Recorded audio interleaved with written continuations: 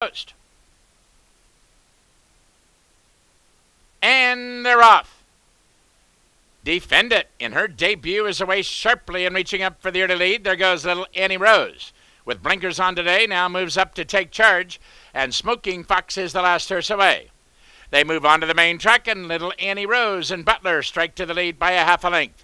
From the outside, defend it. Re-engages now second. Then it's a break of three. La Loba Feroz on the outside, racing along third, as it seems as they are toward the rail fourth, and Smoking Fox is fifth and last.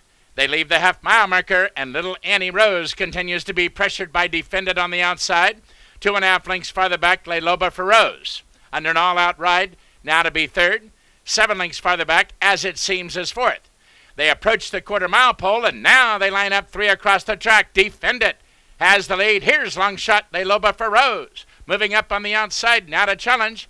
Little Annie Rose is trying to battle back along the rail, and those three as a team as they turn into the stretch. La Loba Feroz on the outside, and little Annie Rose is finding more along the rail. Defended is all done inside the final furlong. It's little Annie Rose on the outside, La Loba Feroz, and little Annie Rose repels the challenge of La Loba Feroz and will go on to take it, going away by two and a half.